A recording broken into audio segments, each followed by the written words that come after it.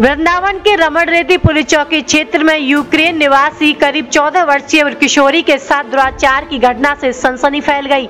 मामले में पीड़िता के पिता की तहरीर पर पुलिस ने रिपोर्ट दर्ज कर आरोपी को गिरफ़्तार कर लिया है। जानकारी के अनुसार यूक्रेन निवासी नारकी रमण रेती चौकी क्षेत्र स्थित एक अपार्टमेंट में अपनी बेटी के साथ रहते हैं। आरोप है की इकतीस अगस्त की रात वह अपने घर पर नहीं थे। तभी मूल रूप से पाकिस्तान के कराची एवं हाल ही में परिक्रमा मार्ग वृंदावन निवासी आनंद कुमार पुत्र तुलसी सान्याल ने रात नौ बजे घर पर आया और किशोरी को अकेले पाकर उसके साथ दुराचार की घटना को अंजाम दे दिया। बताया गया है कि किशोरी की माँ और आरोपी काफ़ी समय से पहले ही लिव इन में रहते थे, जिसके चलते इनकी एक दूसरे से पहचान थी कार्यवाहक कोतवाली प्रभारी अवधेश प्रताप सिंह ने बताया कि पीड़िता के पिता की तहरीर पर रिपोर्ट दर्ज कर आज आरोपी की परिक्रमा मार्ग स्थित इमली ताला के समीप से गिरफ़्तार कर उसे जेल भेज दिया है।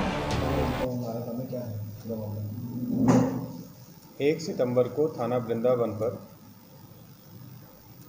वादी द्वारा सूचना दी गई कि उनकी बेटी के साथ एक जो संगीत सिखाने वाले व्यक्ति हैं, जिनका विगत पाँच वर्षों से उनके घर पे आना जाना है, उनके द्वारा दुष्कर्म किया गया। इस सूचना पर पुलिस के द्वारा अभियोग पंजीकृत किया गया। साक्ष्य संकलन के आधार पर अभियुक्त की गिरफ्तारी कर ली गई है।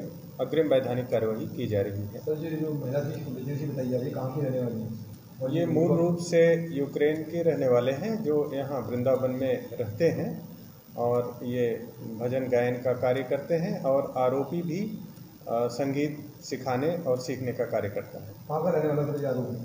आरोपी नारायणपुरा कराची पाकिस्तान का है जो टूरिस्ट वीज़ा पर यहाँ पर रहता है। तो इसका वीज़ा सही है सर अभी तक हाँ? हमारी एजेंसी इसकी रिपोर्ट के मुताबिक वीज़ा वैलिड है उनका। तो सर कब से रह रहे थे ये ये विगत करीब यहाँ पर 10 वर्षों से रह रहे हैं।